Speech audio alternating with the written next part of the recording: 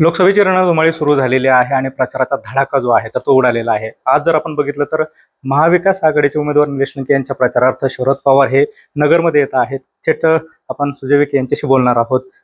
निलेश लंके यांच्या प्रचारार्थ शरद पवार इथे येत आहेत. कसं बघताय? आणि त्यांची सभा होणार आहे.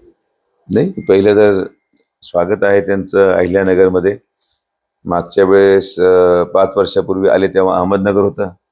आज पाच वर्षानंतर परत एकदा येत आहे तेव्हा अहिल्यानगर झालंय.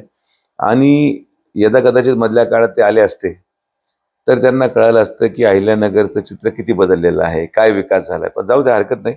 आज पाच वर्षानंतर त्यांना अहिल्यानगरसाठी वेळ मिळाला. माझी मनापासून इच्छा आहे की त्यांनी आदरणीय मोदीजींनी बांधलेल्या फ्लायओव्हरवर प्रवास करावा. फ्लायओव्हरच्या खाली शिवचरित्र आम्ही जे आखलेलं आहे पेंटिंग केली ते पाहावं नगरच्या बायपासवर पाहावं.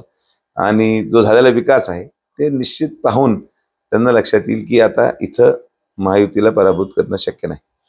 आपण जर बघितलं तर मागच्या इतिहास जरी बघितला तर कुठेतरी विखेंच्या विरोधात जे उमेदवार असतात त्यांना ताकद देण्याचं काम शरद पवार हे करत असतात. आता देखील जवळपास पाच सभा त्यांनी इथे दिलेल्या आहेत. का कसं बघता इकडे? नाही आता ज्यांचं उमेदवारच दहा आहेत महाराष्ट्रात ते शेवटी दुसरीकडे कुठे जातच नाहीत दहा उमेदवारांमध्ये जरी बेरीज केली तर एवढ्या दिवसांमध्ये प्रत्येक उमेदवारासाठी ते पाच का सहा सभा घेत आहेत मला असं आठवतं की मागच्या वेळेस पण जवळपास पाच सभा चार सभा झाल्या होत्या माझ्या माहितीप्रमाणे. तर हे सगळं जे चित्र आहे हे सगळं माझं मागच्या पंचवर्षिकला पाहून झालेलं आहे. त्यामुळे त्यांचं जिल्ह्यासाठी असलेलं योगदान किंवा जिल्ह्यासाठी केलेले कामं हे जनतेला सर्वश्रुत आहेत. त्यामुळे आज ती येतील आणि प्रत्येक तालुक्यामध्ये मी म्हणतो अजून दोन तालुके ते राहिलेले आहेत तिथं पण ते गेले पाहिजे.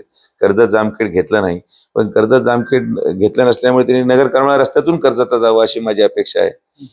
त्यांनी अजून एक कुठेतरी तालुका राहिलाय जिथं त्यांची सभा नाही आहे पाथर्डीला सभा नाही. तर दोनशे बावीस जो आम्ही केला त्याच्या गाडीने प्र- प्रवास करून पाहावं की कसा विकास झाला. तर जिल्ह्यामध्ये त्यांनी फिरलं तर निश्चित त्यांना विकास दिसेल आणि तो विकास आदरणीय प्रधानमंत्री नरेंद्र मोदींच्या माध्यमातून आम्ही केलेला आहे. आज पहिल्या टप्प्यातलं मतदान काही ठिकाणी होत आहे कसं बघता किती विश्वास वाटतो? पहिल्या टप्प्यामध्ये जेवढ्या जागा आहेत सर्व ठिकाणी महायुतीचे उमेदवार आणि विशेषतः भारतीय जनता पार्टी जो बालेकिल्ला आहे तिथं मतदान घडतंय. त्यामुळे तिथं जनता ही आदरणीय प्रधानमंत्र्यांबरोबरच आहेत. गडकरी साहेबांचं स्वतः ज्या गडकरी साहेबांमुळे खरं बाकीच्या सगळ्या उमेदवारांना एक फार मोठा आधार मिळतोय. आमचं नाव खाली गडकरी साहेबांनी दिलेल्या कामांमुळे होतं. त्यांचं स्वतःचं मतदान असलं तर काय तिथं चर्चेचा विषयच नाही. आपल्या देखील होणार आहेत. कोण नेते नेमके येतील? काय नेमकं पुढचं नियोजन असणार आहे?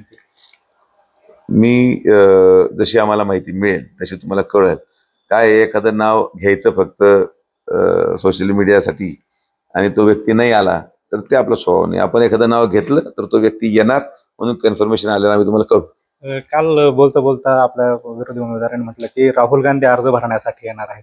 मग कुठेतरी त्यांना हा इशारा असं म्हणायचं. मला कोणाला काही इशारा द्यायचा नाहीये. मी फक्त काय म्हटलो मी एखादं नाव घेतलं आणि तो व्यक्ती नाही आला तर उगीच आपलं हसू व्हायला नको.